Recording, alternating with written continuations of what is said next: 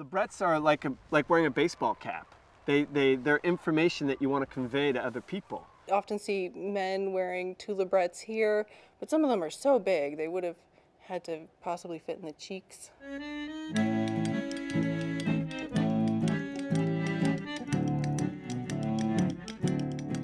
I'm Patrick Saltonstall. I'm the curator at the Alutiiq Museum. My name is Marnie Leist. I'm the registrar at the Alutiiq Museum. When we studied them on Kodiak, we found that 1500 years ago, they were mostly used to tell what family you were. So you'd find um, each village that you look at, when you look at the labrets from a site, you'd have like three or four different styles, and that's because there were probably three or four different families in that village. Um, they're made out of a variety of materials, everything from the local slate to ivory, antler, uh, cannel coal, wood. Right, you got the mouth right here. Labret's here. And you find regional groupings of these styles around the island. The south half of the island has different labret styles than the north half, and the north half shares with Kachemak Bay area, whereas this end shares with the Alaska Peninsula.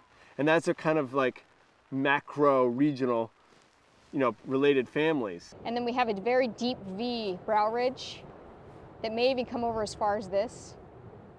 Two eyes coming down to a mouth. And then below the mouth we have two labrets, one here and one here.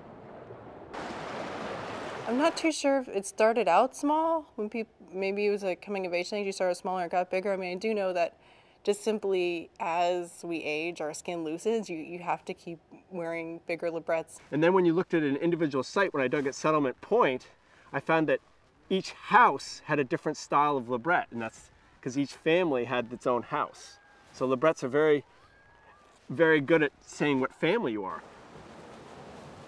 There's various Alutiiq styles, everything from a looks like a button to a labret that has concentric circles.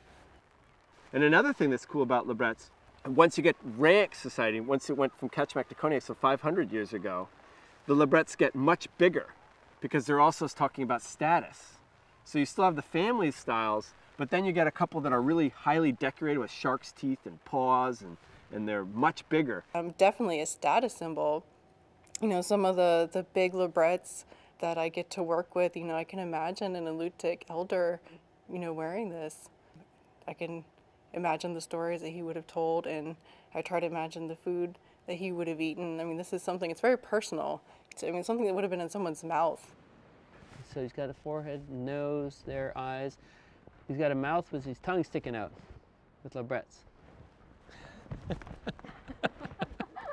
It's like when you have labrets, it means you're having a beginning of formation of what we call corporate groups. You're beginning to see people identifying with certain families and groupings, sort of totems or whatever. Hear my labrets, hear me roar. You know, it's this is a status symbol, for sure.